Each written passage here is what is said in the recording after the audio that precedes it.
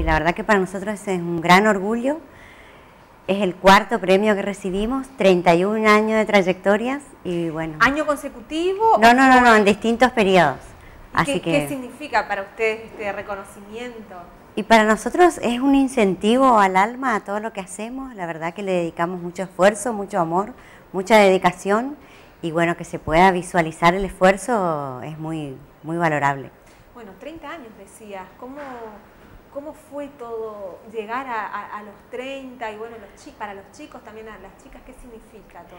Y bueno, como yo siempre digo, no es solo llegar, sino llegar bien, llegar con ganas, llegar con, con estímulo, con sueños, con deseos, con proyectos.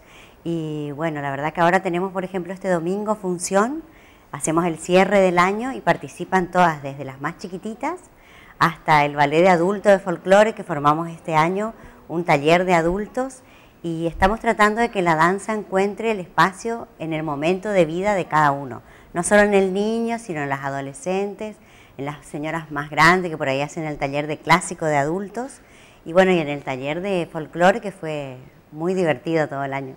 ¿Tenés eh, alumnas de, de qué edad a qué edad?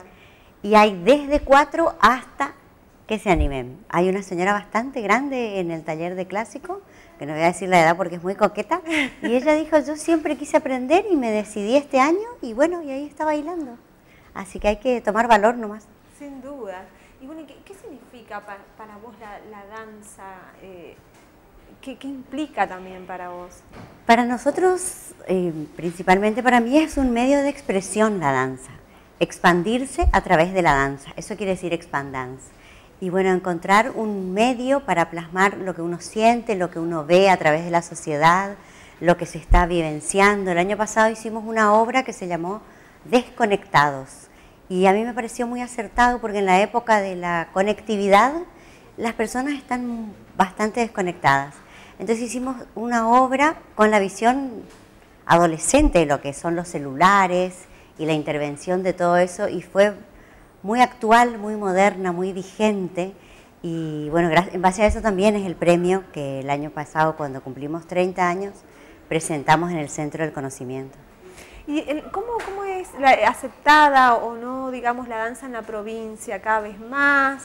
Eh, ¿quién, por ahí el grupo etario que más interesa la danza? Bueno, la danza va surgiendo ya no tanto como entretenimiento como era antes, sino como una formación específica en arte y que con un futuro profesional posible, que antes también la primera pregunta de la mamá y el papá era ¿y de qué va a vivir? que sigue surgiendo en muchos ámbitos, no solo en la danza. Pero hoy por hoy hay un ballet profesional en la provincia, hay carreras de profesor eh, con títulos oficiales que antes no existían en la provincia, y bueno, y hay que subir el nivel técnico artístico para que los chicos se puedan insertar en compañías y en otros lugares de, forma profesional en danza, que a eso estamos apuntando. Porque dentro del resto de las provincias, si bien Misiones ha crecido, tiene mucho más para crecer todavía. Pero le están dando los espacios. Se están dando los espacios y lo que yo siempre digo es que hay que apuntar a un cambio de conciencia, que ir a danza es ir a estudiar danza, no es ir a estar un rato y volver a la casa. pasatiempo. Exactamente. Si bien es divertido, no es solamente un pasatiempo, es un estudio. Y hay que dedicarle tiempo, hay que dedicarle vocación y se puede. Y ser profesional. y ser profesional, exactamente. Laura, y bueno, y la academia en particular, ¿qué, ¿qué, proyecciones tiene ahora a mediano, largo plazo? Y bueno, a mediano plazo es la función del domingo. Y ya tenemos proyectos de formación que todos los años hacemos para abril del año que viene viene Lidia Señi, que fue la directora del Colón, la maestra de Julio Boca, como todas la conocen. Y bueno, ella es siempre nuestra guía a nivel académico porque es la que toma los exámenes y como Lidia es un referente a nivel mundial de la danza. Ella es jurado en Suiza, en el Prix de Lausanne, para la gente que por ahí no conoce, en el Benoit de la danza en San Petersburgo, en Rusia. O sea que ella tiene una visión mundial y actual, vigente de lo que se busca en danza hoy, a manera profesional. Entonces al tomar los exámenes ella nos va marcando ítems que tenemos que tratar de lograr, obviamente, este, para ir subiendo los estándares. Y que el niño que se decida, siempre digo el niño porque no es solo la niña, el niño que se decida pueda llegar, no solamente el que tiene la varita mágica que Dios le dio, sino que... Es una cuestión de decisión. Exactamente, que el que se decida tenga los medios para poder llegar. Tenés, decía, bueno, recién niños, niñas, ¿cuántos alumnos tenés y, y todavía mayoría eh, nenas? Hasta ahora la mayoría es nena, tenemos un solo varoncito. Se animó. Que se animó y bueno, los, lo cuidamos como oro, es el mal criado. Y bueno, y como yo siempre digo, esa es una gran falencia que tenemos, porque hay un ballet folclórico y los bailarines varones se tienen que formar en algún lado. Claro. Y generalmente ya toman la decisión de grandes y perdieron un montón de años de formación. Ya no es lo mismo. No es lo mismo, no es lo mismo. Y, lamentablemente para alcanzar un nivel profesional hay que estudiar mucho. Sí, desde pequeños y, mucho tiempo desde también, pequeños, muchas horas. Exactamente. ¿Cuántas horas? Para, para ser un profesional, ¿cuántas horas necesita? Eh? En otros lugares del mundo ellos entrenan cuatro, seis, ocho horas, según el lugar.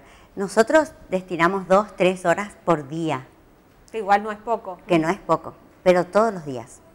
Que ese es el de estímulo. Lunes a viernes. De lunes a viernes. De lunes a viernes. Eh, es una disciplina exigente también. Y sí, pero yo no lo veo como un látigo domador, sino más bien como una posibilidad. Y pasión también. Y pasión. Nosotros cuando éramos chicos queríamos y no habían las opciones que hay ahora. Ahora, por ejemplo, trajimos un maestro de Nueva York que otorgó becas y una chica se fue un mes a Nueva York, becada, este, y esa es una posibilidad que antes para nosotros era impensada. Pero bueno, hoy tienen esos, esos, medios, esas posibilidades y que ya les abre la cabeza, aunque después no se dediquen a la danza. pero, ellos mismas... También la posibilidad de abrirlos al mundo es una gran cosa. Ellos ya ven lo que van a encarar con una perspectiva mucho más profesional. Vos ves que son chicas muy serias, muy dedicadas, y después aunque sean profesionales de arquitectura, medicina, porque tengo todos los rubros ya egresadas, este, ellas son muy dedicadas, buscan siempre superar la excelencia. También para la vida es aplicable la, disciplina, ¿no? Que, implica la danza. Sí, sí, sin duda. Muchas vuelven y me dicen, no sabes todo lo que me sirvió, lo que me enseñaste. Que no es solamente para andar de punta de pie y tutú como la fantasía de la gente tiene. Esa disciplina de levantarse cada mañana y decir, bueno, hoy doy lo mejor de mí. Sí, sí. No más que el de al lado, lo mejor de mí y un poco más que ayer y un poco menos que mañana. Y así cada día. Bueno, Laura, ¿y los que quieren este, estudiar en tu academia, eh, hacer danza ahí, ¿cómo, ¿cómo, tienen que hacer? Y bueno, nosotros estamos en Buenos Aires 1512, esquina Santa Fe.